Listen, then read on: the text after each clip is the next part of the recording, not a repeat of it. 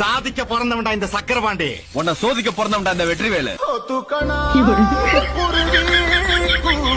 அப்படியா? சாமந்தி பூவை தேடுறீங்களாக்குன்னு நினைச்சேன். சாமந்தி பூவா? நீங்க தானே பாடினீங்க சாமத்துல வாரேன் சாமந்தி பூ தாரேன்னு சொன்னபடி வந்துட்டிய. ஆனா சாமந்தி பூவை தான் காணோம். ஏன் கிடைக்கலையா? அதெல்லாம் ஒண்ணு பேர சொல்லு. சரிப்பா பேர என்னன்னு சொல்லு. பயப்படாதடா அடிக்க மாட்டேன் பேரத்தாடா கேட்டேன். அதுக்கேண்டா இத்தனை கும்பிடு போடுற ஓ உங்களை கும்புறேன் நினைப்போ?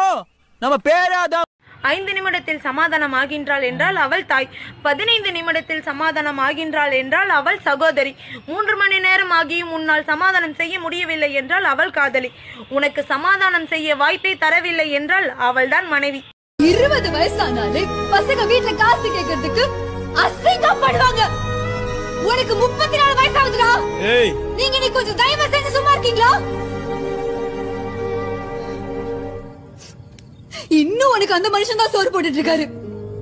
அது ஏன் தெரியுமா? நீ அண்ணங்கிற ஒரே காரணத்துக்காக மட்டும்தான். போய் தயவு செஞ்சு அதை வேலையை பாரு. ஆமா நீ பால் கறக்குறிய பசுமாடு. அது என்ன விலை? பத்தாயிரம் ரூபாய் பத்தாயிரம் தானா? மொத்தம் எத்தனை லிட்டர் கறக்கும்? இருபது லிட்டர். காலையில எத்தனை லிட்டர்? பத்து லிட்டர். சாயந்தரம்? பத்து லிட்டர். மொத்தம் எத்தனை சேரும்? அதான் முதல்லயே சொல்லிட்டேன் இருபது லிட்டர் அப்புறம் என்ன வளவள அப்புறம் இந்த கண்ணால் ஆக்ஷன் எல்லாம் காமிக்காது. நீ திரும்பி உட்காரு நான் பேசுறேன் சரி பேசுங்க பயங்கர வில்லிடி நீ. இல்லங்க மேம் நீங்க பேசுங்க என்ன பத்தி நான் சொல்றேன். எனக்கு பொய் சொல்ல பிடிக்காது. நான் ரொம்ப கோபக்காரி. என் உத்தியோகத்துல நான் கண்டிப்பானவன். என் பார்வைக்கு ஒரு விஷயம் தப்புன்னு தெரிஞ்சா அதை கண்டிப்பேன். மீறினா தண்டிப்பேன். அது சில பேருக்கு பிடிக்காது. அதுக்கு நான் ஒண்ணும் பண்ண முடியாது. இந்த துப்பட்டான்னு ஒன்று போடுறாங்க சார். அது என்ன பண்ணா முதல் இப்படி வி ஷேப்பில் போட்டாங்க. அதுக்கப்புறம் என்ன பண்ணாங்கன்னா கழுத்தை சுற்றி இப்படி போட்டாங்க. அதுக்கப்புறம் என்ன ஒன் சைடு போட்டாங்க.